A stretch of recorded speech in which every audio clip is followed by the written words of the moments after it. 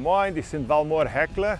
Ich lebe in Nova Petropolis und so wie die meisten Leute hier, äh, ich stamme auch aus deutschen Immigranten, die nach Südbrasilien gekommen sind, für ein besseres Leben zu finden. Nova Petrópolis, hoje com 22 mil habitantes, ela foi fundada em 1858, em sua grande maioria por imigrantes de origem germânica. Essa procedência é facilmente percebida passeando pela cidade. Vamos conhecer essa maravilha?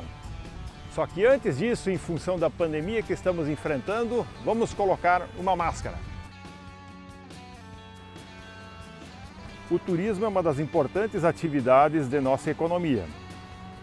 Começamos pela Praça Central, a Praça das Flores, que é sempre bem cuidada e florida. A arquitetura germânica, em estilo enxaimel, veio para Nova Petrópolis com os imigrantes alemães e está muito presente nas residências, restaurantes, cafés, hotéis, no comércio e inclusive na nossa prefeitura. A culinária que foi herdada de nossos antepassados atrai muitas pessoas de todo o Brasil, que vêm aqui para apreciar essas delícias.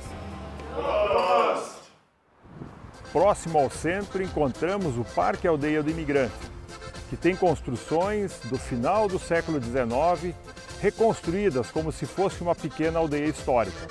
Na área de 10 hectares, podemos passear em meio a árvores centenárias, andar de bicicleta, curtir uma música alemã saboreando um chopp, assistir às apresentações de bandas típicas, além de várias opções de compras de artesanatos e produtos coloniais.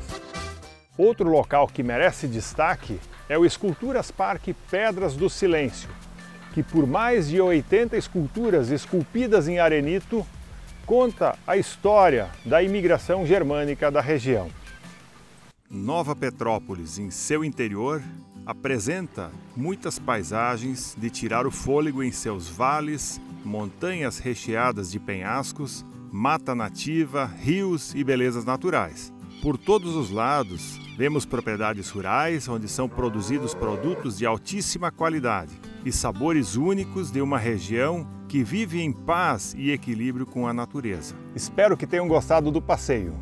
E esta é a Nova Petrópolis, cidade encantadora, simplesmente germânica. Willkommen und viel Spaß!